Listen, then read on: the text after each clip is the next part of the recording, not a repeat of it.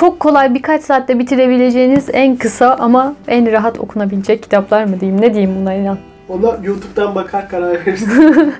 Etkileyici, güzel kitaplar önereceğim. Okumanız gereken. Hayatımı değiştiren 5 kitap falan diye. Kaç tane kitap var burada? 3, 4, 6 tane var. Hayatımı sayı. değiştiren 5 kitap deyip 6 kitap anlat. Tamam. Şimdi çok kolay bitecek kitapları anlatıyorum. Gövdeli Adam. Bunun videosunu yapmıştım zaten. Linkini koyuyorum buraya. Ya da oraya. Neden bahsediyor? 100 sayfalık falan sanırım. Evet 110 sayfalık bir şey. Bir kabile reisinin beyaz insanı, modern insanı anlatması. Bu videoda niye var o zaman kitap? Buradan diğer videoya geçip izlesinler diye. O zaman en sona koyalım. Hayır olmaz. Bir kabile reisinin gözünden modern insan eleştiriliyor ve her şeyi eleştiriyor. Çünkü her şey ona garip, anormal geliyor. Para kavramını eleştiriyor dedim, zaman kavramını eleştiriyor dedim. Aslında kısmen söyledim yine. İş, meslek edinme durumlarını eleştiriyor yine. Ee, hale kendinize tekrar bakabiliyorsunuz bu kitapla birlikte. Ve çok da kolay okunuyor. Yeterli mi sence? Doktor Ox'un deneyi. Bu da kitabın başından anlaşılacağı gibi Doktor Ox'un küçük bir yerleşim biriminde yaptığı bir deneyden bahsediliyor. Bilim kurgu. Böyle kısacık bu da. Kaç sayfa? 90 sayfalık. Ne yapıyor bu adam? Kasabaya ışık getireceğini söylüyor bir gazla. Ve bu gaz insanların bütün karakterlerini, psikolojik durumlarını değiştiriyor. Normalde inanılmaz sakin, insanı deli edecek kadar sakin olan yer bir anda bu gaz sayesinde tamamen bambaşka bir yere dönüşüyor. O yüzden böyle çok fazla gerilim öğeleri barındırıyor. E, okurken böyle hem geriliyorsunuz hem korkuyorsunuz. Hep böyle çizgi film gibi düşünün bir yandan bunu ama. Küçükken olur ya mesela şey Oz büyücüsü gerer insanı korkutur. Bir şey diyeceğim. Bu bir öneri videosu fakat sen kitabı direkt söyledin ya. Ya ama çok belli ki zaten arka kapak kıyasından bile belli. İnan çok beğendiğini söylemişti bu kitabı. Ben de okurken çok beğenmedim aslında ama bittiği zaman gerçekten etkilendiğimi, sevdiğimi fark ettim. Ya da işte o gerginliği yaşadığımı fark ettim. Ve güzel çizgi film, animasyon olabilir bu kitap bence. Vardır. Genelde sevdiğim kitapları öyle düşünüyorum zaten. Animasyon olarak düşünüyorum. Ve bir çocuğu çok fazla etkileyebileceğini düşündüğüm için bu şekilde düşünüyorum muhtemelen. Tabii ki yetişkin de etkileniyor ama bir çocuğu böyle bir şeyle etkilemek çok daha kolaydır muhtemelen. Peki sevdiğin animasyonları kitap olarak düşünüyor musun? Yok onu düşünmüyorum. Go go go go. He, Gogol. Bu da e, Gogol'un böyle en ünlü sözü. Söylemezsek olmaz. Hepimizin söylemesi lazım. Gogol'un sözü değil ama Gogol'la ilgili en önemli söz. Dostoyevski'nin üzerine yapışmış bir söz. Ama kesin Hı. bir kanıtı yok galiba. Evet. Gorki'nin de olabilirmiş. Hepimiz Gogol'un paltosundan çıktık denilen söz. Ya Gorki'nin ya Dostoyevski'nin ya da başka birinindir Ya bilemiyorum. bence bunu Dostoyevski söylemiştir ya. Olabilir bilmiyorum. Dostoyevski'nin İnsancıklar kitabı daha çok paltoya benzetilmiş. Çünkü neden? Küçük insanı ele aldığı için. Hatta e, Dostoyevski ilk İnsancıklar kitabını yayınladığında bir eleştirmen ikinci Gogol doğuyor demiş Dostoyevski hakkında. Sonra doğmadı da diyor ama. Sonra evet, şey çünkü Gogol'la aralarında bir çekişme falan olmuş bir de. Tutuklanması falan var o sırada Dostoyevski. Uzun yıllar hiçbir şey yazmıyor zaten. Evet tutuklanma olayını biliyorum aslında da.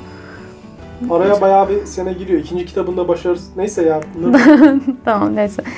Palto'da işte bir yandan Rus bürokra- bürokrasi diyemeyeceğim. Rus bürokrasisini eleştiriyor.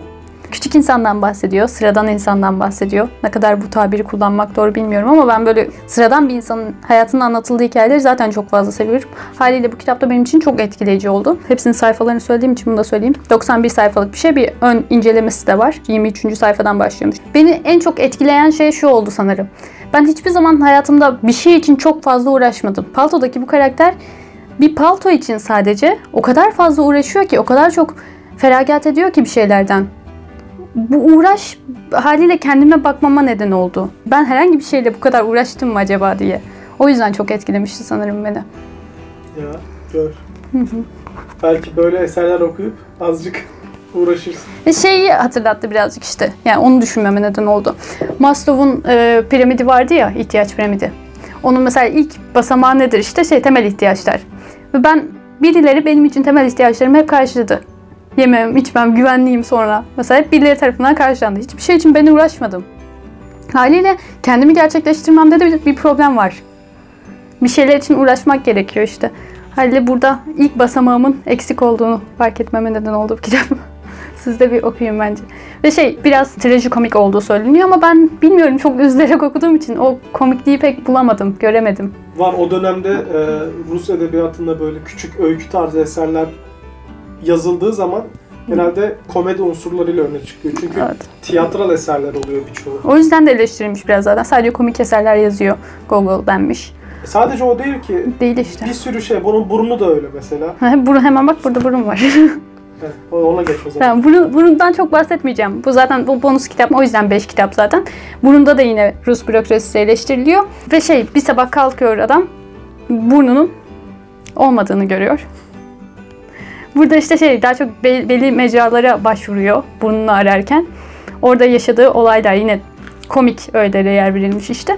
O yüzden bunu da kısaca önereyim dedim. Bana öneren kişi de ben bir videoda görmüştüm. Voldemort'u çizerken biri bunu önermişti. o yüzden okumuştum. Kim Ve- önerdi ya? Nisan Hakan mı bu yoksa? Hayır, kimdi ya? Şey ya, Marvel karakterlerini inceleyen kız var ya. Ezgi. Evet, Ezgi'nin diğer eşi. Erkek olan. Resim yapan. Vallahi bilmiyorum. Ekleyeceğim onun linkini. Onun sayesinde okudum da. Ya şu yatağa otursana çıldırtıyorsun insanı. Bu bir şey daha söyleyeceğim çok kısa bir şey. Bu kitaptan sıkılanlar da olmuş.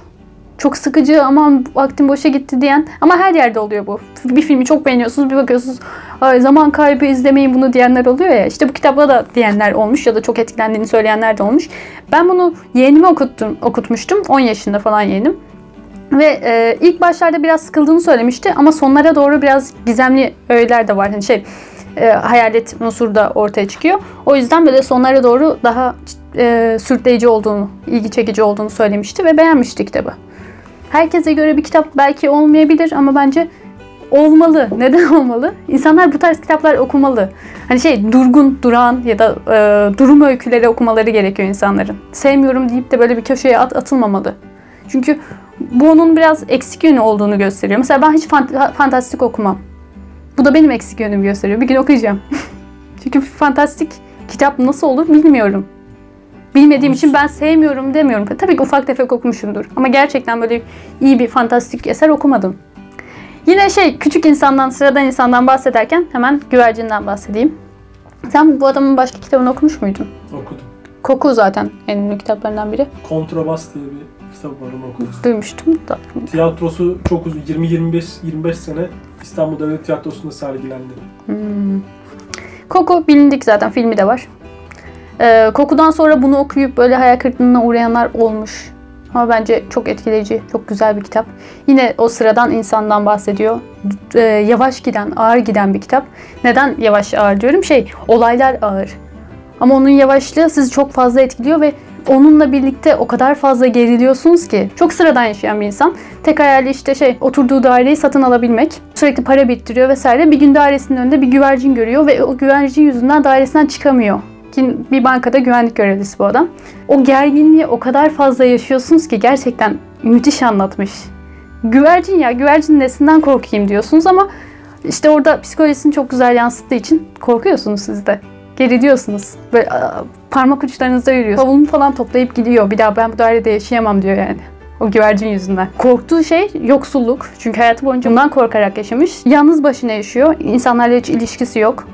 Durum öyküsü olarak bunu da okuyabilirsiniz. İkisini çok fazla benzeten insanlar olmuş. Öyle. O yüzden bundan sonra bunu da okuyun. Ve bence en önemli tavsiyelerinden biri şu olacak. Bu kitapları tamam şu Göğdelen Adam hariç bunları oturun yani bir oturuşta okuyun bence. Şu zaten kısacık bir kitap. Ama böldüğünüzde birazcık okuyup bıraktığınızda birazcık okuyup bıraktığınızda yeterince etkili olmuyor. Ama oturup bitirdiğinizde böyle gerçekten o hikayenin içine girebiliyorsunuz. Çok daha etkileyici olabiliyor. Ki ben genelde şunu yapardım. Kitabı okurdum sonra uyurdum hemen. Onun hakkında da rüya görürdüm. Çünkü rüya da çok farklı haliyle sizin bilinçaltınızda çok daha yaratıcı şeyler ortaya çıkabiliyor. Yani iki tane çok sevdiğim kitap var. Biri satranç, ikincisi yabancı. Ee, yabancı kitabını bu videonun ikinci serisine sakladım. bu videoda bir tane favori kitabım olsun. Aa, bu arada ya haksızlık gibi oluyor ama bu Gövdelen Adam da benim başucu kitabımda uzun süre. Üniversite yıllarında falan 4 yıl boyunca böyle hep başucumda duruyordu. Böyle canım sıkıldığında okurdum. Çantamda sürekli olurdu. Zweig'ın okuduğum ilk kitabı bu. Acaba diyorum bir yandan ilk okuduğum kitap olduğu için mi bu kadar çok etkilendim?